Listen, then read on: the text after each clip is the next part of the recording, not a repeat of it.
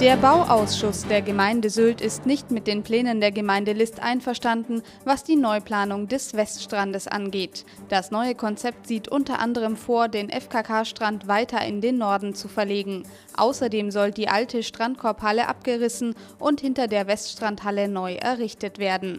Der Bauausschuss hat nun ein Schreiben an die Gemeinde List verfasst. Darin kritisiert er unter anderem, dass neuer Parkraum entsteht und die Strandkorbhalle zu groß und zu hoch wird. Ob und wie die Gemeinde List auf die Einwände reagiert, wird sich zeigen. Die Sylt Marketing GmbH gewinnt den zweiten Platz beim Online Marketing Award der touristischen Fachzeitschrift FVW.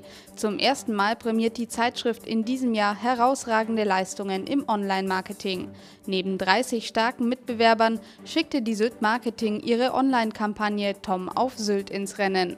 Profi-Urlauber Tom bloggte in den letzten zwei Jahren online allerlei Wissenswertes und Unterhaltsames über seinen Sylt-Aufenthalt im Sommer.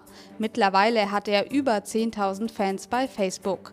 Auch in diesem Jahr wird Tom wieder auf Sylt sein und online von seinen Erlebnissen berichten. Der Pausenhof des Schulzentrums wird saniert. Das haben die Mitglieder des Schulverbandes Sylt einstimmig beschlossen.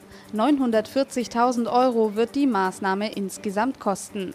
Der erste Bauabschnitt mit 200.000 Euro ist beinahe abgeschlossen. In der jüngsten Sitzung ging es um den zweiten Bauabschnitt, der den eigentlichen Pausenhof umfasst. Das Entwässerungssystem wird teilweise erneuert und Stolperfallen im Klinkerpflaster beseitigt. Außerdem sollen weitere Bewegungsmöglichkeiten wie ein Niedrigseilgarten und Kletterfelsen für die Schüler geschaffen werden. Nach den Herbstferien sollen die Arbeiten auf dem Schulhof abgeschlossen sein.